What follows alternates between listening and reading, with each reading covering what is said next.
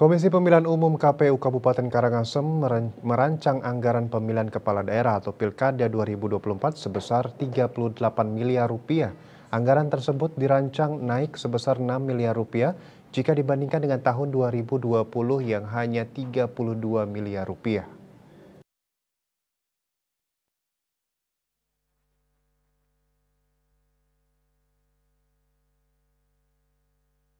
Ketua KPU Kabupaten Karangasem Ngurah Gede Maharjana mengungkapkan hingga saat ini pihaknya masih merancang anggaran naik 6 miliar.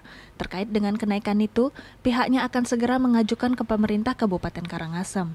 Maharjana mengatakan meningkatnya jumlah anggaran yang mencapai 6 miliar tersebut karena pada Pilkada tahun 2024 mendatang di Kabupaten Karangasem, jumlah daftar pemilih tetap DPT mengalami peningkatan dari sebelumnya 375.063 orang pemilih menjadi 379.306 orang pemilih berdasarkan sinkronisasi data terakhir. Selain DPT, tempat pemungutan suara TPS juga mengalami peningkatan dari 1.115 TPS pada Pilkada 2020 menjadi 1.135 pada Pilkada tahun 2024 mendatang.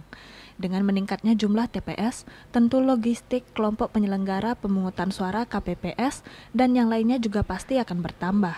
Selain itu, honor untuk KPPS pada Pilkada tahun 2024 juga bertambah, sehingga akan membutuhkan anggaran yang lebih banyak lagi.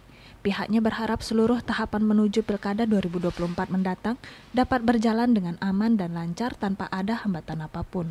Eka Parananda Bali Pos melaporkan.